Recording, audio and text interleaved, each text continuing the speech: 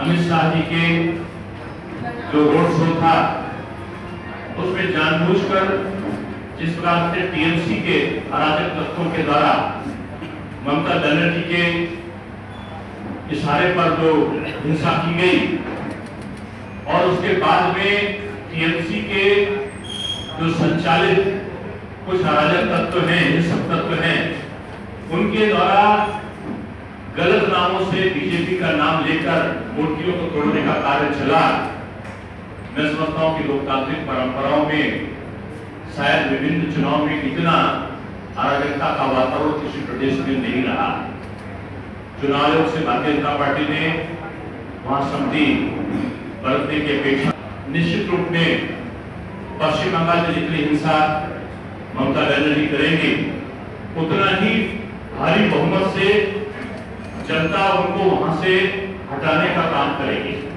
के लिए भी डलवाई है और पाँच टीमें जिला प्रशासन ने गठित की है इसके लिए। दोनों पक्ष के अपने अपने के साथ में जाँच कर रहा है। इसमें ना तो जिला प्रशासन का कोई रोल आता है और ना ही उत्तर प्रदेश सरकार का आता है। प्रियंका जी कांग्रेस की बड़ी नेता है। ये अलग बात है कि उनको आपकी चुनाव में इतना घूमने फिरने के बाद भी घोर निराशा मिल रही है। ये उनकी पार्टी के संगठन का और उनका अपना दोष है।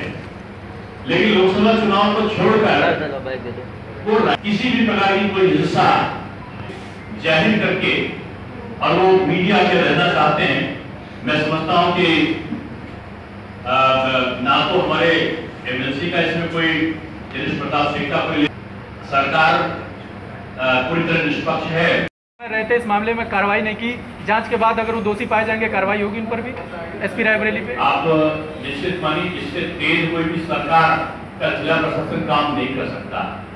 राजनीति के अंतर्गत जो चारों तरफ़ का जहाँ पर उन्होंने कांग्रेस ने लिख के मांग की है जहाँ सुरक्षा की।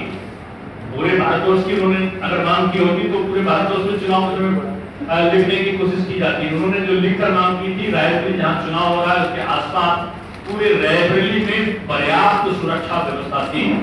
वहाँ कहीं भी सुरक्षा में कोई ढील नहीं बरती गई सब्सक्राइब कीजिए हमारे डायनामाइट न्यूज़ चैनल को और दबाइए इस बेल आइकन को, ताकि आपको मिल सके हमारे लेटेस्ट वीडियो सबसे पहले।